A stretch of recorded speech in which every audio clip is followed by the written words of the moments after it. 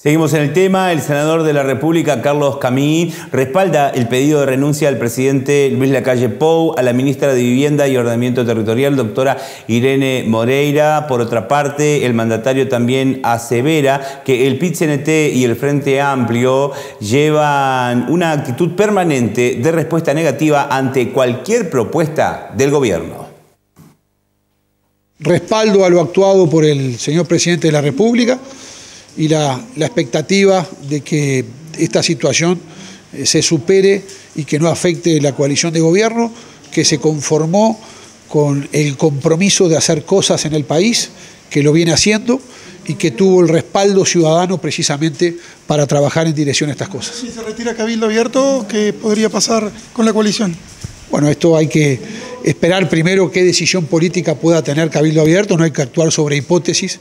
Yo tengo la, la firme expectativa de que la coalición este, continúe eh, firme en el trabajo que viene llevando adelante. Senador, eh, con respecto a las transformaciones que viene llevando adelante el gobierno, este, y también cuál es su punto de vista con lo que viene golpeando, ¿no? El PIT-CNT y todas las reformas que viene llevando adelante el gobierno nacional. Yo soy muy respetuoso de la actitud o del pensamiento que tenga eh, el PIT-CNT y también el Frente Amplio.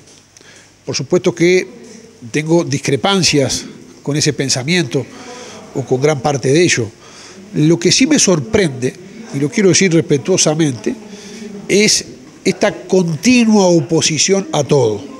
Yo no recuerdo haber visto en el país en mucho tiempo una actitud eh, tan permanente de contradicción con el gobierno, de oposición con el gobierno, de respuesta negativa a cualquier propuesta que surja del gobierno.